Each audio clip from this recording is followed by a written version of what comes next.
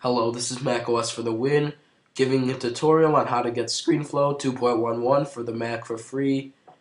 I'm using ScreenFlow right now, and what it does is it records your desktop, and you can also add audio and video. So this is great for recording whatever is on your screen or doing a tutorial.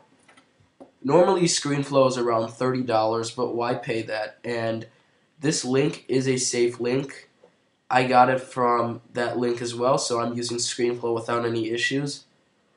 So basically, what you're going to do is click the link, and the link is in the description below the video. And it's going to instantly start downloading if you have Firefox. But since I already have it, I don't need to download it again. So yeah, this link, once again, will be in the description below the video, and it is a real way on how to get ScreenFlow for free. It works with no problems, and it's a great tool to have if you want to record videos on your desktop.